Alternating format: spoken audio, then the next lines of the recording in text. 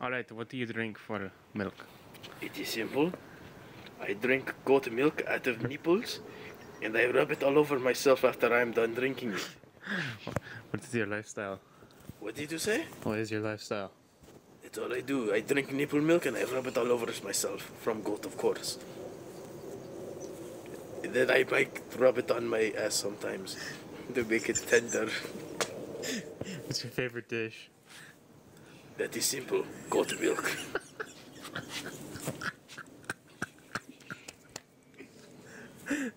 What about good balls? Goat balls on special occasion, but I always drink goat milk. For breakfast, snack one, lunch, snack two, then dinner. And when I feel horny, I drink it more. this thing is itchy. I don't like it.